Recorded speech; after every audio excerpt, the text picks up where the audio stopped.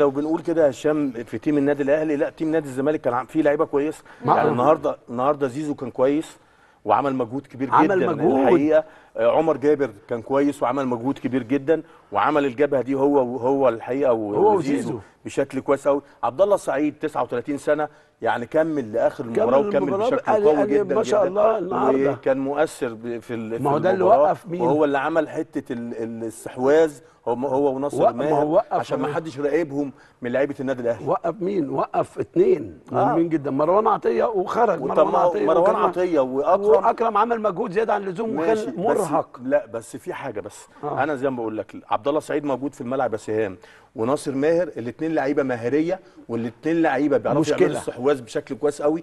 يبقى انت بتلاعب آه، آه، مروان عطية وبتلاعب أكرم. والاثنين ولا مرة حتى شفت واحد راح لعبد الله منهم أو واحد راح ضغط على على ناصر. فدي طبعا واتاخرت في نزول قفشة. بالظبط. آه. طب أنا بقى لو أنا بقى ش- شفت كده بعد تلت ساعة ولا نص ساعة طب ما خلاص ما نزل قفشة جنب إمام عاشور اللي آه. هو مش كويس أساسا وخليهم يعملوا دولت يعملوا لك الاستحواذ. لأن طب ما أنت كده كده مش ما حدش راح مسك آه، آه، عبد الله السعيد ومسك